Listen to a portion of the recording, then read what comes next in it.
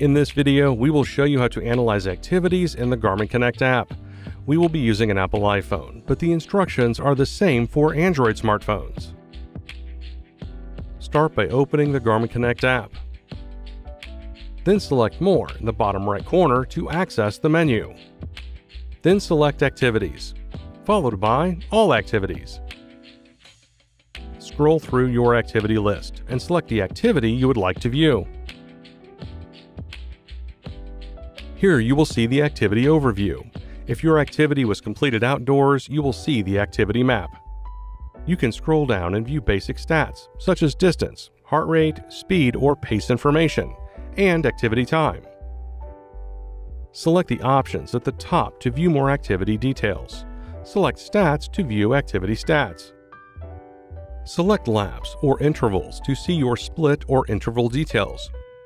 Selecting charts will show your pace, heart rate, and other activity detail charts. You can also select Gear to view gear you have added to Garmin Connect, or manually add this activity to your entered gear. To learn more about adding gear to the Garmin Connect app, visit the video now. Select the three dot icon to edit the activity, add gear, save a course, and more.